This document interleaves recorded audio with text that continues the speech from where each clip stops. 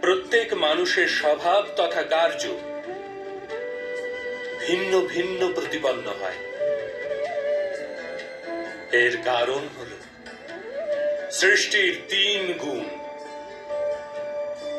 তম, রজ আর সত্য।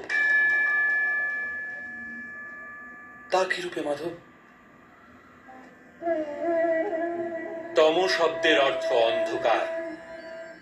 ভালো মন্দের বিচার ব্যতীত জীবন নির্বাহ করাকে তামসিক আচরণ বলা হয়ে থাকে।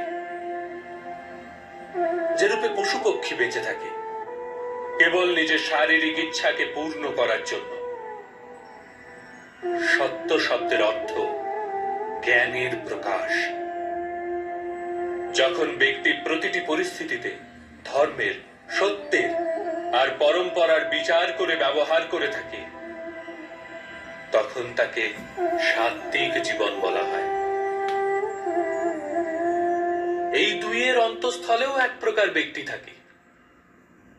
যার নিকট জ্ঞান তো আছে, কিন্তু শরীর আর মনের বাসনার সাথে আবদ্ধও রয়েছে।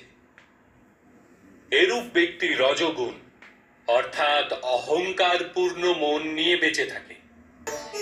তম, রজ অথবা সত্যগুণের অধিক অথবা স্বল্প মাত্রার মেলবন্ধনে মানুষের স্বভাব তৈরি হয়।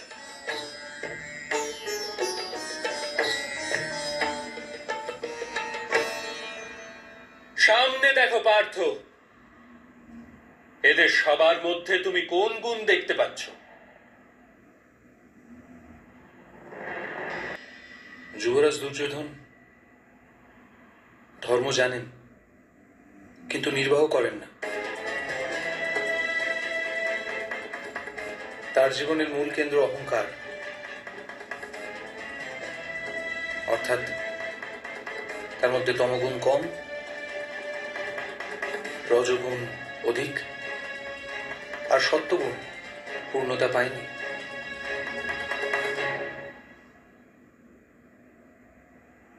আর এদিকে? রাজকুমার দুঃশাসন। উনি সর্বদাই নিজের জ্যেষ্ঠ ভ্রাতার আদেশ পালন করেছেন, নির্বিচারে। অর্থাৎ, এর মধ্যে কেবল তমগুণ। মহামহিমকেও দেখো পার্থ। সত্যর সাথে তমর মিলন। অহংকার নেই এনার। কিন্তু পুরাতন ধর্ম, পুরাতন পরম্পরার প্রতিজ্ঞার দ্বারা আবদ্ধ। আবশ্যকতা হওয়া সত্ত্বেও নিজের প্রতিজ্ঞা ভঙ্গ করতে পারেন না। গুরু দ্রোণকে দেখো। জ্ঞান আর অহংকার দুই আছে। জ্ঞান তো মানুষকে মুক্তি দান করে। কিন্তু এনার অহংকার এনাকে মুক্ত হতে দেয় না।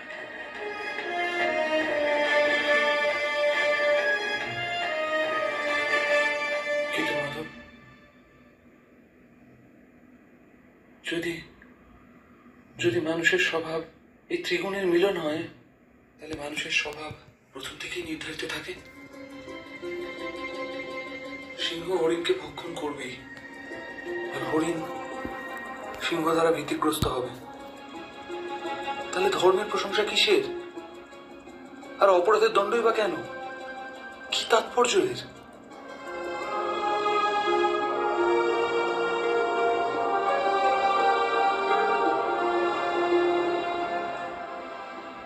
উত্তম প্রশ্ন করেছ, পার্থ। কিন্তু প্রথমে মানুষ আসলে কি? সেটা জেনে নাও